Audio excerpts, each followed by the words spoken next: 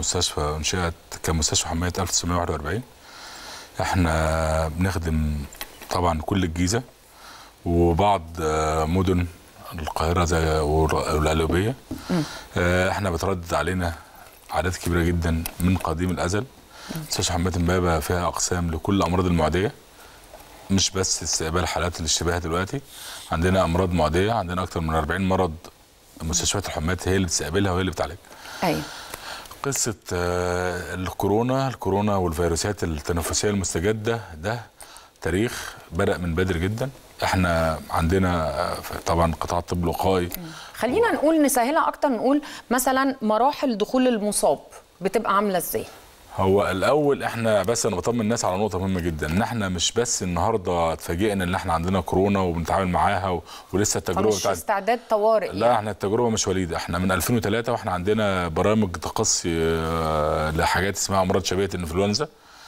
وظهر معانا من ساعة ما بدأ السارس يظهر في الصين وإحنا عملنا البرامج دي في مصر. والحمد لله ما كانش ظاهر هنا كان السارس حاجة مختصة بالصين بس. ولما ظهر ال- الميرسيكوف اللي هو ال- الكورونا الخليجي كنا برضو مستعدين ليها.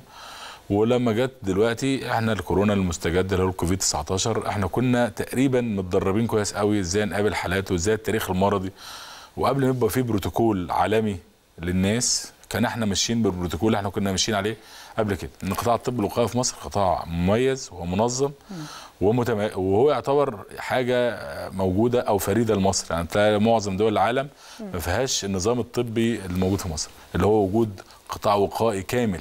مستشفيات صدر ومستشفيات حميات ومديريات الشؤون الصحية وإحنا طبعا عندنا مديرية الشؤون الصحية بالجيزة آه، طبعا مهتمين جدا بمستشفى حمايه امبابه والهيئة العامة للمستشفيات التعليمية مهتمة جدا. وإحنا كل ال- الواقيات وكل حاجة متوفرة لنا. إحنا بنستقبل المريض بتاعنا. الأول إحنا انشانا عيادات اسمها عيادات الفرز عيادات الفرز دي بيخش المريض بيتسأل. كان في الأول البروتوكول ده حضرتك بتقول موجود من الأول.